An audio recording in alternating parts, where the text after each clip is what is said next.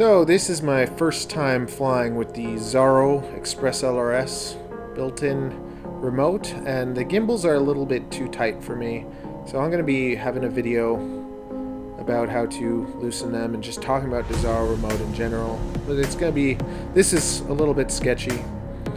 And I'm flying on the Runcam MIPI there's a little bit more delay but I really actually like the colors that come out of it. I did grade it a touch but in general, I just like the way the colors look out of this camera. Enjoy!